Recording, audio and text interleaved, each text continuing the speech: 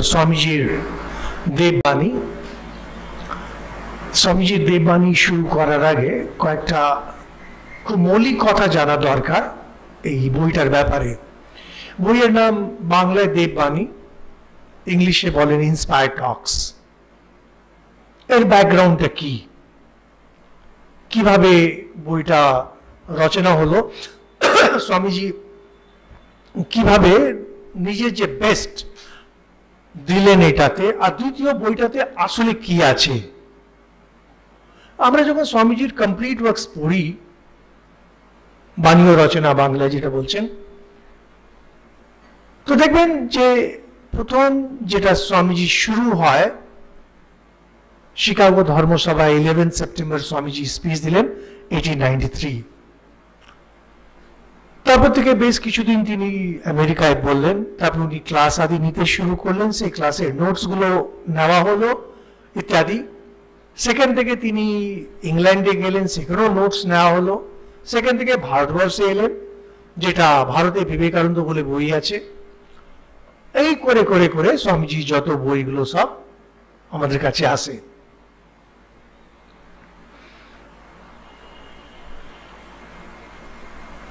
স্বামীজির যখন বই পড়া হয়,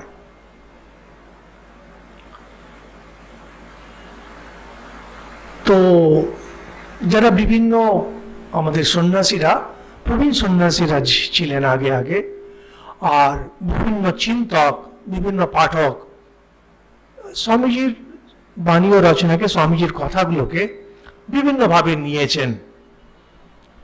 কেউ কেউ তার মধ্যে দেশভক্তির কথা দেখেন কেউ তার মধ্যে এক নতুন ভারত তার যেন বীজ দেখতে পান। আর কেউ আবার দেখেন যে ভারতের যে আধ্যাত্মিক ইতিহাস সেটা রয়েছে। এরকম করে অনেকগুলো কথাই সবাই ভাবেন, দেখেন।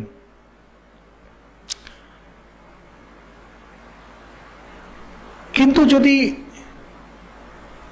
আরও গভীরে দেখতে যান যেটা আমাদের আগে আগে কিছু কিছু স্বামীজিরা ছিলেন, তারা এই জিনিসগুলোকে বলেছেন। খুব গভীরভাবে যদি দেখতে যান স্বামীজিকে, আর খুব নিষ্ঠার সঙ্গে, খুব মন দিয়ে যদি পড়া হয়, তো দেখবেন স্বামীজির এই যে বাণী ও রচনা, এটা বেদ। স্বামীজির বাণী ও রচনা এটা একটা এটা পুরো বেদ। যখন আমি বলছি স্বামীজির বাণী ও রচনা বেদ, আপনারা, আপনাদের মনে হবে যে এটা একটা প্রশংসা করা হচ্ছে, স্তুতি করা হচ্ছে। তাই না?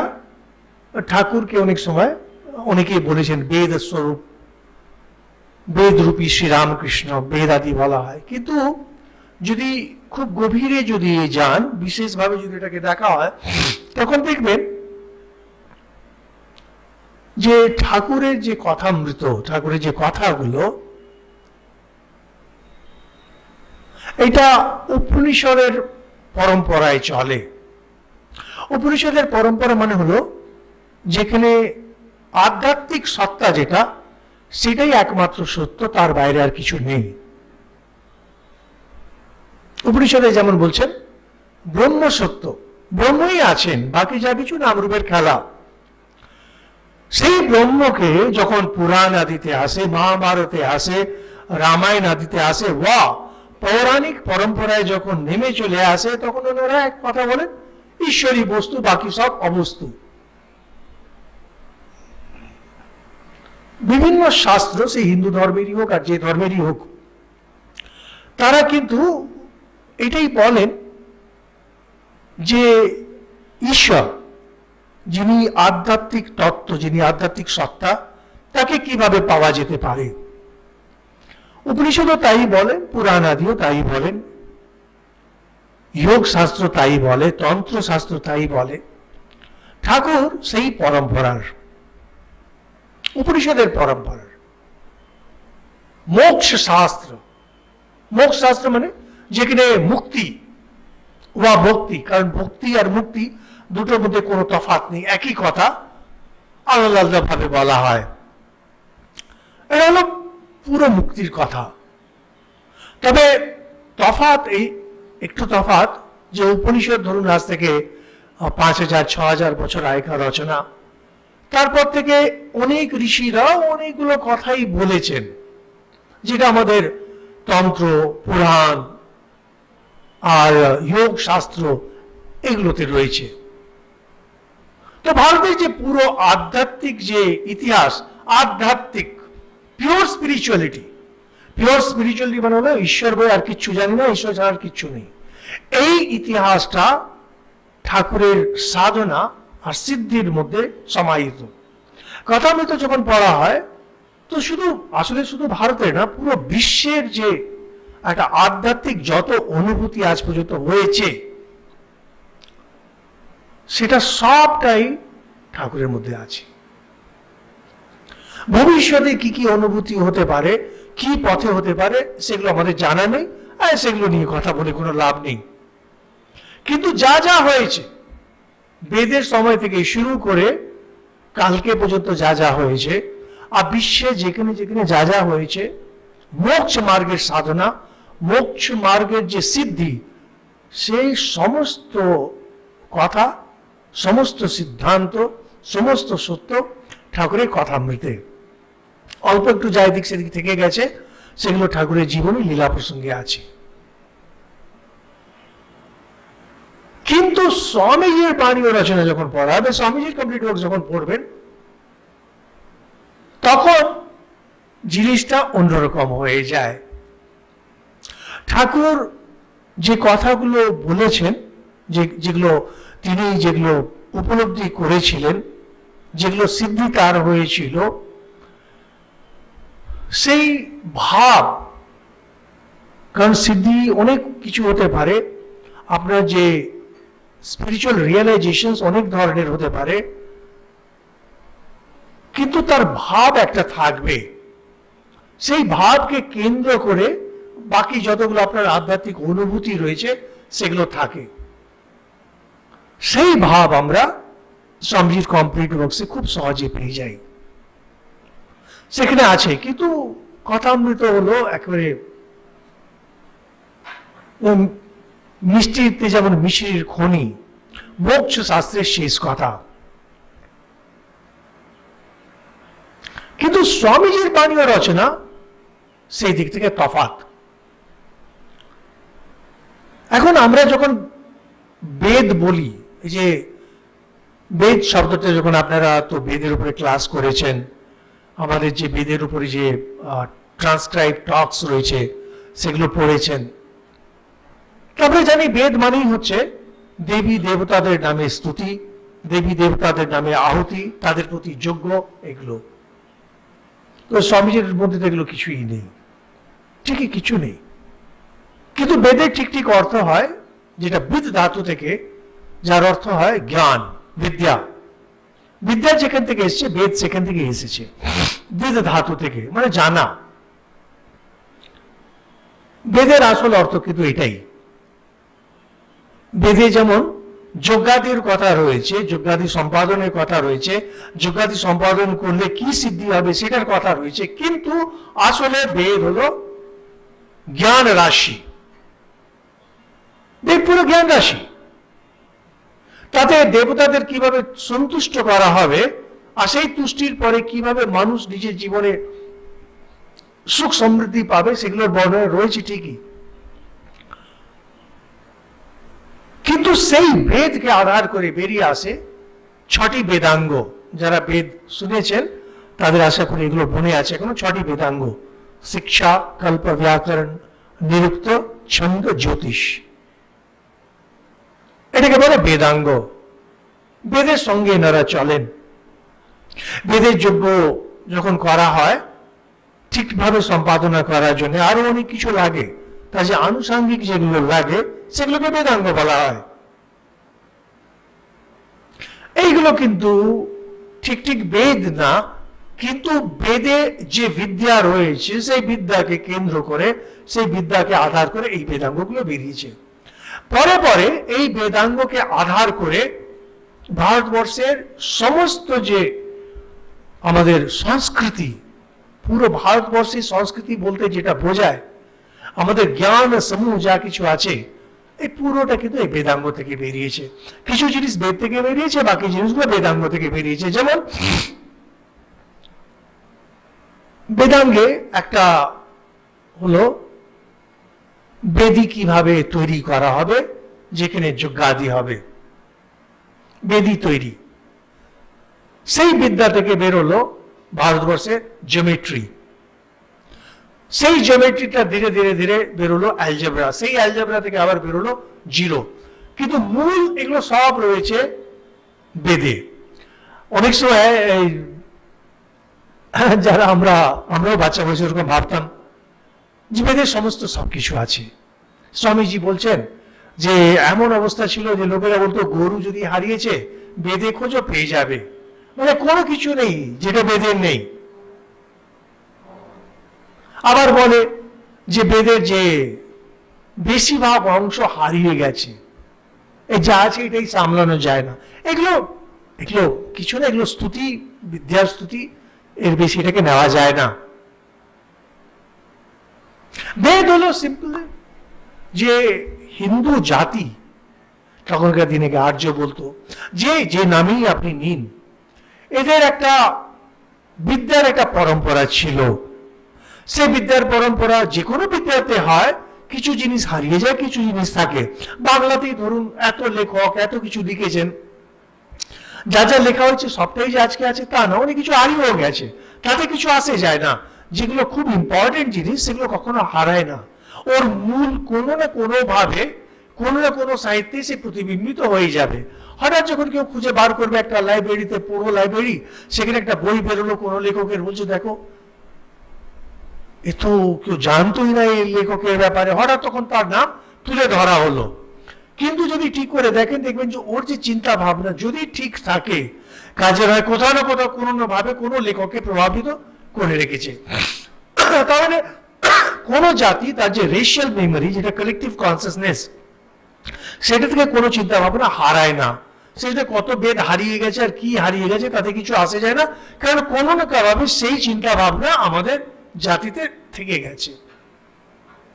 এখন সেই বেদ থেকে বেরিয়ে এসেছে ছটি বেদাঙ্গ।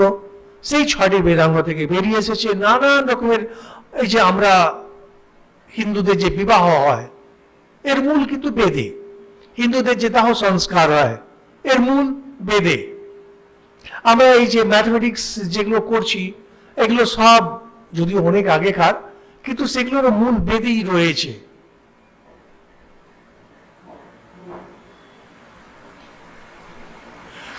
এমনকি বাল্মীকির যে কাব্য, তাকে আদি কবি বলা হয়, সেই আদি কবি থেকে শুরু হয় পরে পরে যত কবিতাগুলো বেরিয়েছে। ভারতের যে কাব্যশাস্ত্র, এটা পুরো ছন্দ, এটা একটা বেদাঙ্গ সেখান থেকে বেরিয়েছে। ভারতের যত অ্যাস্ট্রোনমি অ্যাস্ট্রোলজি যাবতীয় যা কিছু আছে, জ্যোতিষশাস্ত্র থেকে বেরিয়েছে। জ্যোতিষশাস্ত্র বেদের একটা অঙ্গ বেদাঙ্গ। মানে ভারতবর্ষে কোনো কিচ্ছু নেই। ভারতীয় সংস্কৃতি যেটা, হিন্দু সংস্কৃতি যেটা, সেটাতে কোনো কিচ্ছু নেই যেটা সরাসরি বেদ থেকে আসছে না। তার মধ্যে আরও যারা ঋষিগণ ছিলেন, মনীষীগণ ছিলেন, তারা নিজের মতো অনেক কিছু দিয়ে চলে গেছেন। সেখান থেকে ওটা বেড়েছে। এই গঙ্গোত্রী থেকে যেমন এটা সুতোর মতো নদী বেরোয়, আস্তে আস্তে আস্তে আস্তে যখন এই মালদা মুর্শিদাবাদের কাছে আসে, সে বিরাট গঙ্গা। তার একটা পার্ট চলে যায় বাংলাদেশ, একটা পার্ট এই কলকাতা হয়ে চলে গঙ্গাসাগর। এত বিরাট নদী হয়ে যায়। কিন্তু মূল তার সেই গোমুখ গঙ্গোত্রী। ঠিক তেমনি বেদে সেই যে বিদ্যার যে আর সুতোর মতো একটা বেরোলো, সেটা যেমন যেমন যেমন যেমন এগোচ্ছে, তার মধ্যে অনেক ট্রিবিউটারিজ ঢেলে যাচ্ছে ঢেলে যাচ্ছে, বিরাট হয়ে গেছে। এই বেদ হিন্দু সংস্কৃতিকে গত সাত হাজার, আট হাজার বছর ধরে ধরে রেখেছে।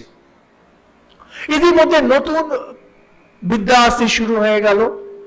নতুন বিজ্ঞান আসতে শুরু হয়ে গেল।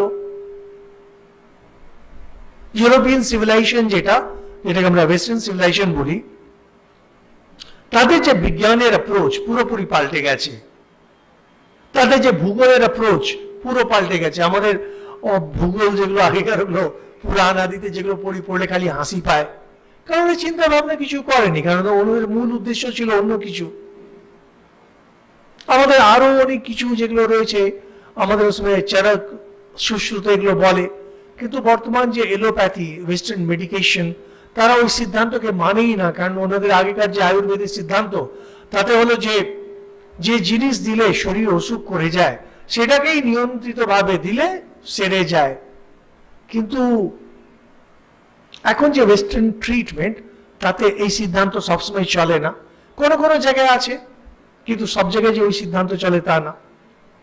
তেমনি ফিজিক্স কেমিস্ট্রি বায়োলজি না, এগুলো পুরো অন্য রূপ ধারণ করে নিয়েছে। তাহলে বেদ বলতে যে সমস্ত জ্ঞান, আর আমাদের যে বেদ রয়েছে, সেটাতে যে সমস্ত জ্ঞান নিহিত রয়েছে, তা নয়।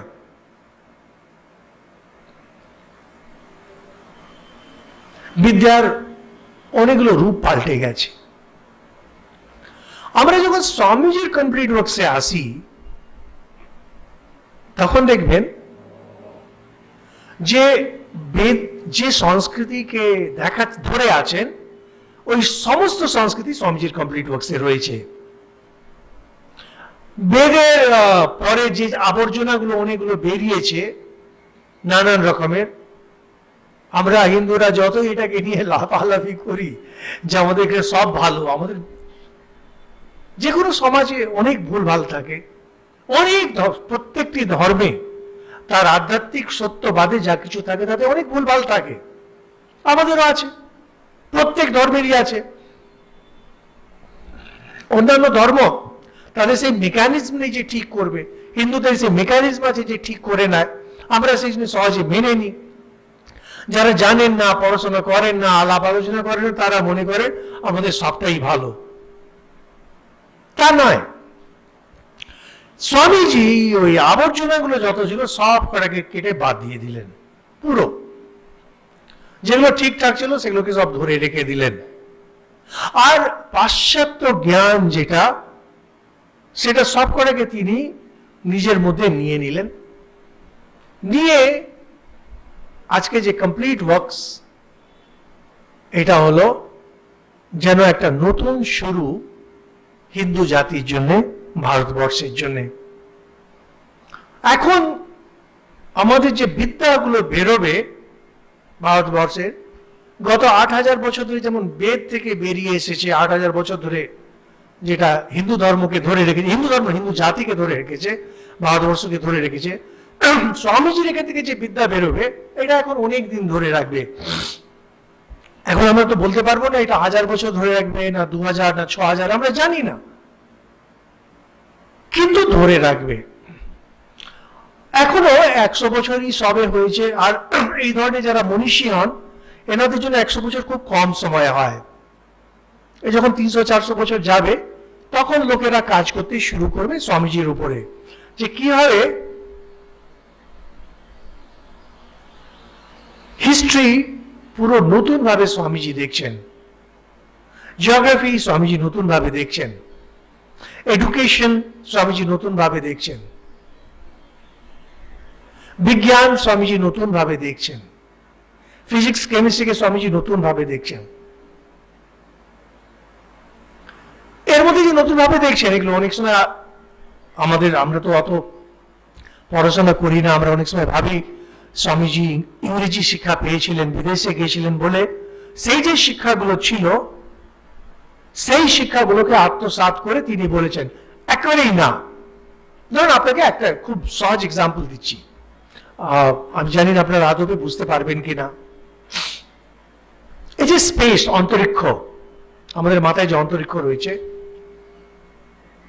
আমাদের ভারতবর্ষের যে ভূগোল, তাতে পৃথিবী হচ্ছে ফ্ল্যাট এটা পুরো ফ্ল্যাট টেবিলটা যেমন ফ্ল্যাট পৃথিবীটা ফ্ল্যাট এই যে ফ্ল্যাট আর্থ এটা সমস্ত জাতির ধারণা যে পৃথিবী ফ্ল্যাট যার জন্য আগেকার দিনে যারা জাহাজ টাহাজ চালাতো মানে বড় বড় নৌকো, তাদের ভয় হতো যে যদি যেতে থাকে যেতে থাকে যেতে থাকে, তাহলে শেষে এজে যেমন এই টেবিলের একটা শেষ আছে, ওখানে পৌঁছে যাবে, ওখান থেকে পড়ে যাবে।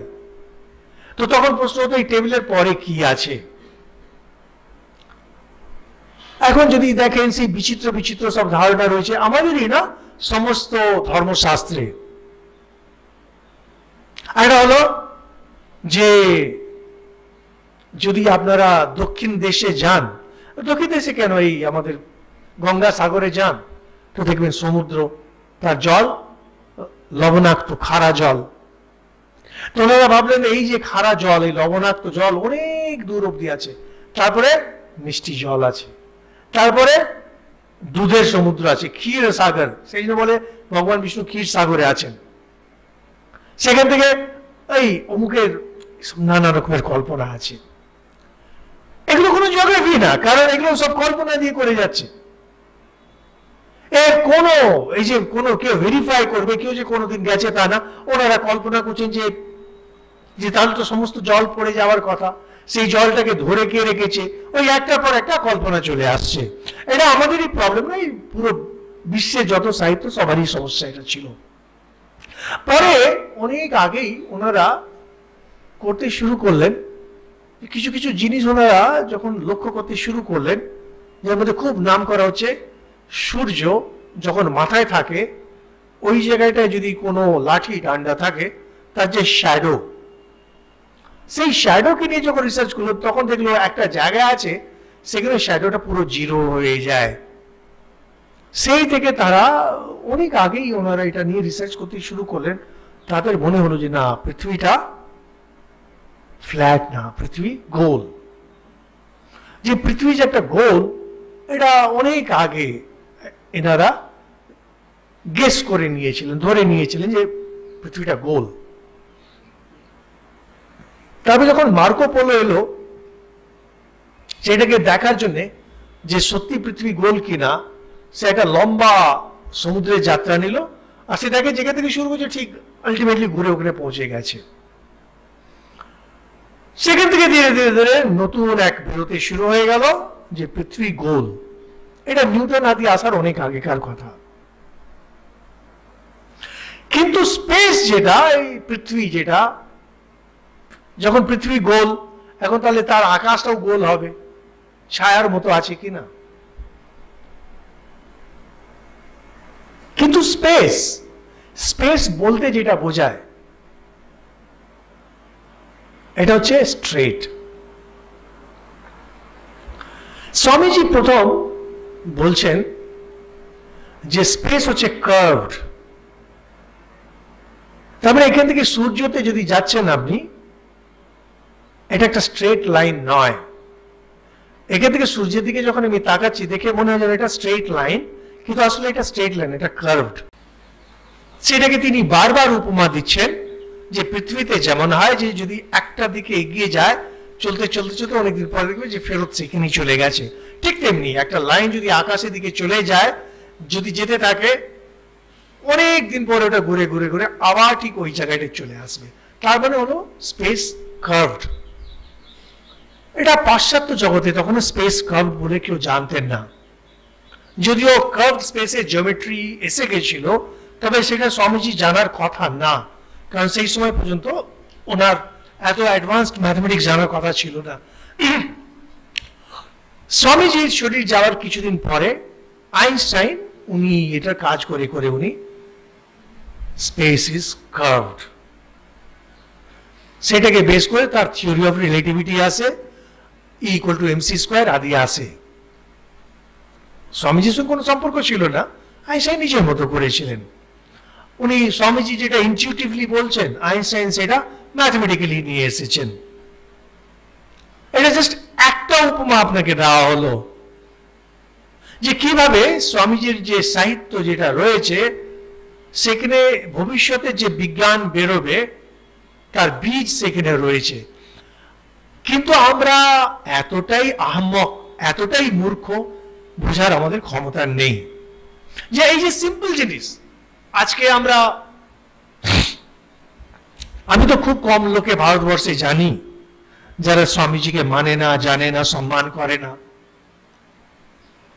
কিন্তু আজ পর্যন্ত আমি একজন কাউকে দেখিনি যার সায়েন্স ব্যাকগ্রাউন্ড থাকুক আর্টস যে ব্যাকগ্রাউন্ডই থাকুক, যারা এই একটি সাধারণ কথা যে স্বামীজি বলছেন যে একটা লাইন যদি টানা হয় এখান থেকে, অন্তরিক্ষে, যদি যেতে থাকে, যেতে অনেক দিন পরে ঘুরে ঠিক ওই জায়গাটায় চলে আসবে, যার অর্থ হলো স্পেস হচ্ছে কার্ভড ইনফাইনাইট কিন্তু বাউন্ড বাউন্ড মানে বাঁধা।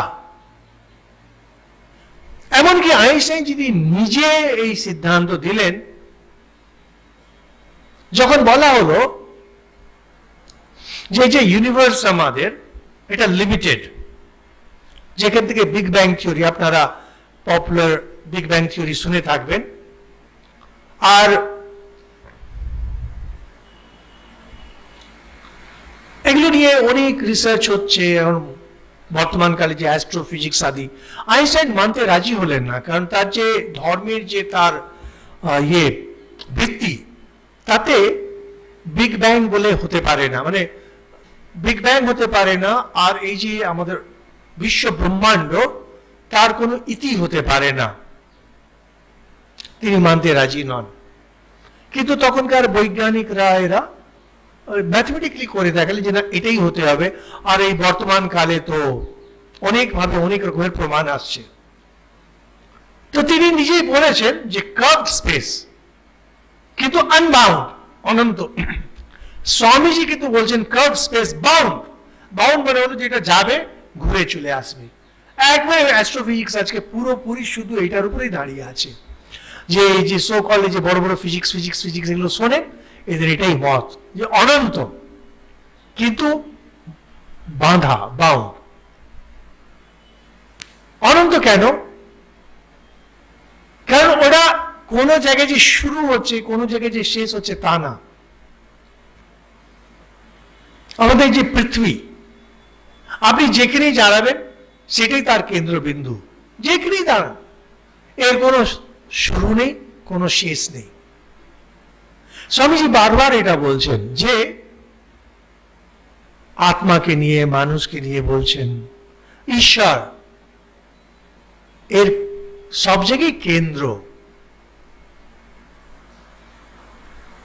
এই যে স্পেস এর সব জায়গায় কেন্দ্র।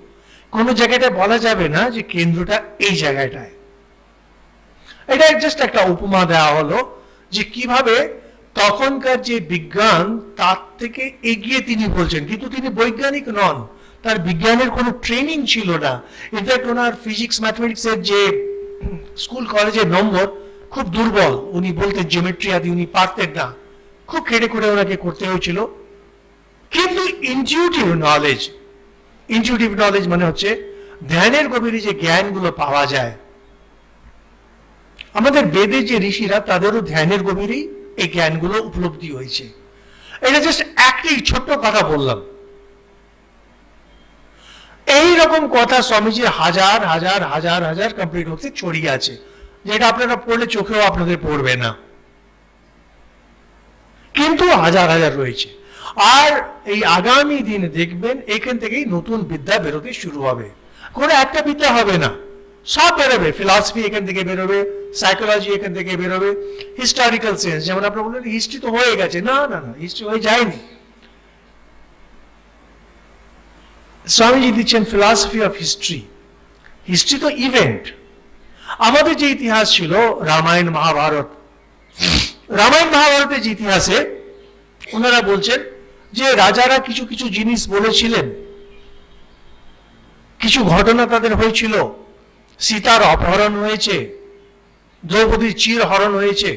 সেটাকে কেন্দ্র করে এবার ধর্ম অর্থ কামুক এই শিক্ষা দিচ্ছেন রামায়ণ মহাভারতে। স্বামীজি সরে যাচ্ছেন সেখান থেকে পুরোপুরি। স্বামীজি বলছেন যে, ইতিহাস হলো এখানে ব্রাহ্মণ, ক্ষত্রিয়, বৈশ্য, শূদ্র এক এক করে রাজ করে। এক একটা যে জাতি, বর্ণ, এরা ক্ষমতায় আসে। ঠিক আপনি যদি দেখেন, ফিরে তাকান বিশ্ব ইতিহাসে, ভারতের ইতিহাসে, দেখবেন যে ঠিক তাই। কখনো টাকার জোর চলে পুরো বিশ্বে, কখনো তলবারের জোর চলে কখনো আবার বিদ্যার জোর চলে। এখন যেমন আমরা দেখছি, ধীরে ধীরে ধীরে ধীরে পুরো বিশ্ব বিদ্যার দিকে এগিয়ে চলে যাচ্ছে। যাদের কম্পিউটার টেকনোলজি জোরালো, তারাই রাজ করবে। মিসাইলস তাদের থেকেই বেরোবে। যুদ্ধ মার্কেট তারাই কন্ট্রোল করবে। মেশিন আদি তারাই করবে। তো এই যে কনসেপ্ট এটা স্বামীজি দিয়েছেন। এটা কোনো হিস্টোরিয়ান কোনো দিন এই ধরনের কোনো ধারণা দেননি আর এটাকে নিয়ে কোনো বড় কাজও হয়নি। যে কীভাবে এই জিনিসটা আছেন একজন দুজন, একজন ছিলেন আমাদের স্বামী সমীশ্বরানন্দজি তিনি এটা নিয়ে লিখেছিলেন স্বামীজির ইতিহাস চিন্তা। সেখানে তিনি এই আইডিয়াসগুলো কিছু কিছু নিয়ে আসছেন। আবার যেমন ধরুন স্বামীজি ভারতের ভবিষ্যৎকে নিয়ে বলছেন যে জনগণকে অধিকার দাও না হলে এরা তোমাদের শেষ করে দেবে। নাম্বার ওয়ান নাম্বার টু বলছেন, যে আমি দেখতে পাচ্ছি যে ভারতবর্ষে শূদ্ররাই ক্ষমতায় আসবে, আর শুধু নিজের শূদ্রত্বের জোরে। ওরাও কোনো ব্রাহ্মণ হয়ে গিয়ে যে করবে তারা নিজের শূদ্রত্বের জোরে। দেখুন চারিদিকে যে ক্ষমতাগুলো। যে শূদ্র মানে হলো যারা আনকালচার্ড ইলিটারেট এখন তখনকার দিনে কেউ জানতোই না যেভাবে ভোটিং হবে। আর ভোটিং হয়ে গিয়ে শিক্ষা দেয়নি জনগণকে এতদিন। হিন্দু সমাজের শূদ্রকে নেগলেক্ট করে এসছে তিন হাজার, চার হাজার, পাঁচ হাজার বছর ধরে। আজকে পুরো ভোটের ক্ষমতা তাদের হাতে। ইতিহাসের চাকা ঘুরে গেল। ইতিহাসের চাকা এমন ঘুরেছে, সমস্ত বর্ণ ভারতবর্ষ থেকে ঘুরে গেল। এখন যার হাতে সংখ্যা, তার হাতে ক্ষমতা। স্বামীজি প্রেডিক্ট করেছেন এটা। এগুলো আমরা ভাবছি যে তিনি এগুলো প্রেডিক্ট করছেন, তিনি অন্তর্দৃষ্টি সম্পন্ন কিছু না। এগুলো কিছু না, মন যখন শুদ্ধ, পবিত্র থাকে, এগুলো তখন ইনটিউটিভ নলেজ এইভাবে আসে। স্বামীজি বলছেন ভারতবর্ষে বর্ণ বর্ণ থাকবে না জাতি প্রথা থাকবে না। শিষ্য তাকে জিজ্ঞেস করছেন যে, শূদ্রের কাজ কে করবে? ওই মেশিন করবে। এটা এইটিন নাইনটি সেভেনে বলছে, তখন মেশিন বলতে কেউ কিছু জানে না, কারণ রেলওয়ে ইঞ্জিন জানে। আজকে দেখুন বাড়ি বাড়িতে সমস্ত কাজ মেশিন করছে। ধোপা যে কাজ করতো, সেটা ওয়াশিং মেশিন করছে। আর বাড়ি ঝি রায়সি যে কাজগুলো করে যেত, সেগুলো ভ্যাকিউম ক্লিনার থেকে শুরু করে সব কিছু হচ্ছে। রান্না বান্না যারা করতো যে হট কেস গ্যাস সব মেশিন করছে সব কিছু মেশিন একটা যে উনুন, সেটাও মেশিন হয়ে যাবে, কে ভেবেছিল? উনুন বলতে লোকে বুঝতো, কাঠ আর কয়লা। সেখানে সেটাও হয়ে গেছে, আপনার মাইক্রোওয়েভ দেখুন, সব মেশিন হয়ে গেছে। তো দেখুন, আজ থেকে যখন মেশিনের কোনো আইডিয়াই ভারতবর্ষে ছিল না, তখনই স্বামীজি বলেছেন যে শূদ্র জাতির সমস্ত কাজে যে বড় বড় যে মেশিনগুলো বুলডোজার থেকে শুরু করে, দেখুন এগুলো একটা ভিত কাটার জন্য কত লোক লাগতো। এখন এই বড় বড় মেশিন এসছে, ও হাতিরও বাপ তারা। একদিনে পুরোটা খুঁড়ে দিয়ে বেরিয়েছে। একটা বড় বড় বিল্ডিং এ একদিনে ফেলে দিয়ে বেরিয়ে চলে যাচ্ছে এগুলো হচ্ছে স্বামীজির যে যে চিন্তা। আর এই চিন্তাগুলো কোনো একটা বিষয়ে নেই, প্রত্যেকটি বিষয়ে রয়েছে। তিনি ঋষি ছিলেন তিনি একা এত জিনিস দিয়ে গেছেন যেটা বেদের যে ঋষিরা যারা ছিলেন, অনেক ঋষিদের যে অনুভূতি, সেগুলো সমস্ত একটা বেদ হয়ে দাঁড়িয়েছে। স্বামীজি একা এতগুলো দিয়ে গেছে, তবে এর মধ্যে তফাত হয়। আমরা অনেক সময়, আমরা মনে করি যে আগেকার যারা ছিলেন অ্যানসেস্টার্স আমরা নিজের গুরুকে সম্মান করি, আমি সন্ন্যাসী গুরুকে সম্মান করি। আপনারা নিজের বাবাকে সম্মান করেন, ঠাকুরদাকে সম্মান করেন পর পুরুষকে যে পিতৃ পিতৃকে সম্মান করেন। কিন্তু একটা জিনিস ভুলে যান, যে যদি আপনি ইভলিউশনের দৃষ্টিতে তাকান, আপনি কিন্তু তাদের থেকে সুপিরিয়ার আপনি তাদের মাথার উপরে বসে আছেন। জ্ঞানের দৃষ্টিতে তারা একটা স্যাভেজ ছিল জগলি বর্বর। আজ থেকে দু হাজার বছর আগে যিনি ছিলেন আপনার পূর্ব সে কতটুকু আর জানতো? জ্ঞানের দিক থেকে আপনি ফার সুপিরিয়ার আপনি অনেক অ্যাডভান্স তারা আপনার পায়ে এসে পড়বে, যে এত জ্ঞান। বয়সের দিক থেকে যদি ওর আজকে বেঁচে থাকতো মনে হবে যে বিরাট কিছু। কিন্তু জ্ঞানের দিক থেকে আমরা অনেক সুপিরিয়ার কারণ ওরা যত জ্ঞান অর্জন করেছিল, ওই সমস্ত জ্ঞান আমরা পাঁচ বছর বয়সে শিখে নিচ্ছি আমরা অনেক সুপিরিয়ার তার থেকে। স্বামীজিও ঠিক তাই। বেদে ঋষিরা যেটা ধ্যানের গভীরে অনেক জ্ঞান আদি অর্জন করেছিলেন স্বামীজি সেটা ক বছরের মধ্যে ওটাকে আয়ত্ত করে নিল। এটাই হয়। এই যে এখন দেখবেন এই যে নতুন জেনারেশন যেটা আসছে, চার বছর, পাঁচ বছর বয়সে সমস্ত টেকনোলজিকে মাস্টার করে নিচ্ছে।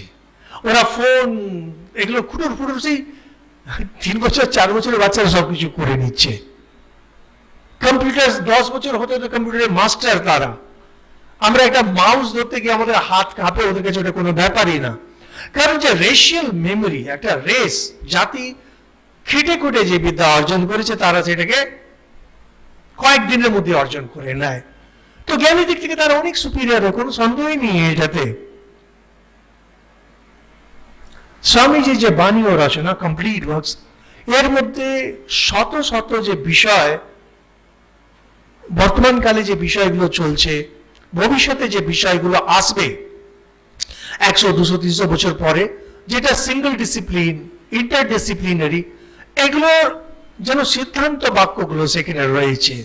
আর যেমন এই বিভিন্ন ঋষিদের নাম আমরা পাই, কাব্যে বিভিন্ন ঋষির নাম পাই, জ্যোতিষবিদ্যাতে বিভিন্ন ঋষির নাম পাই। এগুলো এনারা বেদের ঋষি না। বেদের ঋষিরা এগুলো সিদ্ধান্তগুলো দিয়েছিলেন, সেগুলোকে তারা ওয়ার্কআউট করলেন বেদাঙ্গ রূপে। সেই বেদাঙ্গটাকে যখন আবার খুলে দিল তখন আমরা জানি বাল্মীকি ব্যাস আদি। বাল্মীকি ব্যাস এনারা বৈদিক ঋষি নন। কিন্তু এনারা যে বিদ্যাকে বিরাট করে দিলেন, সেই বিদ্যার মূলে পেছনে রয়েছে সেই বেদের একটি কি দুটি কথা। স্বামীজির যে বাণী ও রচনা কমপ্লিট ওয়ার্কস এটা সেই বেদ।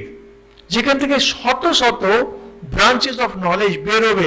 এখনও বেরোতে শুরু হয়নি। কীভাবে বেরোতে শুরু হয়নি দেখবেন? স্বামীজির একটাই যেটা নিয়ে অনেকেই বলেছেন, লিখছেন, সেটা হলো শিক্ষা। স্বামীজি যে শিক্ষার সিদ্ধান্ত এটাকে নিয়ে লিখেছেন। কিন্তু দেখবেন, সবাই খালি কোটেশন দিয়ে যাচ্ছেন education is the manifestation of the perfection already in man ইত্যাদি।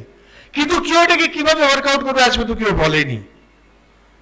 আমি তো স্কুলে ছিলাম কলেজে দেখেছি, এখানে আছি। আজ পর্যন্ত একটি সিঙ্গল একটি চটি, একটা ছোট্ট লেখা, যারা বলবে স্বামীজির এই যে শিক্ষা পদ্ধতি, এইটাকে কীভাবে পালন করা হবে, কেউ লেখেননি।